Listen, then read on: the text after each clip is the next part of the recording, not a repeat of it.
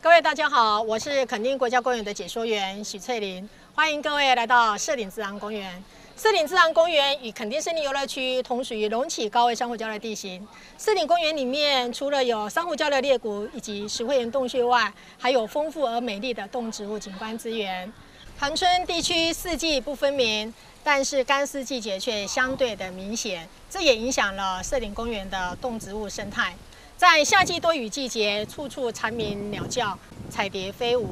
在树林里里面，你还可以看到猕猴以及赤腹松鼠的觅食。到了秋季的时候，赤腹鹰以及灰面狂鹰的过境，更是让社顶的天空大塞车。现在就让我们一起走进社顶自然公园里面。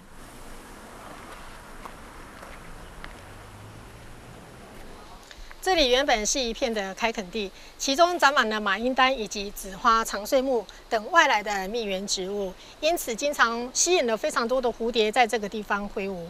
近年来，由于自然的演地，渐渐的已经被杂木林以及灌木所取代，感觉上好像蝴蝶数量减少了，但是我们还是可以看到非常多的蝴蝶在这个地方挥舞以及产卵的景象。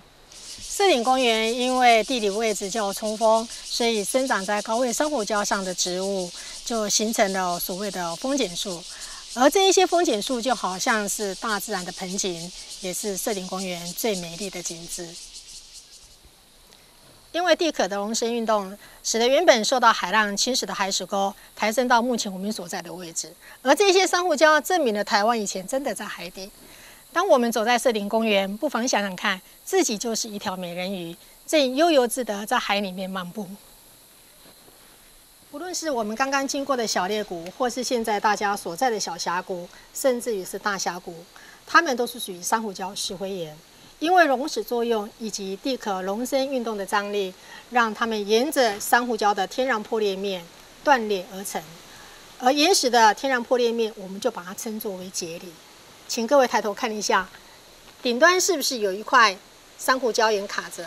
所以呢，小峡谷又叫做爆珠峡。等一下，请各位经过洞口的时候，小心一下你的头，不要撞到了，因为洞口也是由掉落的珊瑚礁堆垒而成的。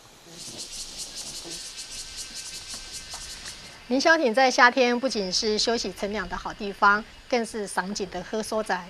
在这里不仅可以看到整个社顶的森林景观，还可以欣赏到东海岸的碧海蓝天。如果天气好，海面上没有云层，可以清楚地看到蓝鱼。每一年的九月赤腹鹰以及十月灰面狂鹰过境的季节，凌霄亭更是赏鸟人士的圣地。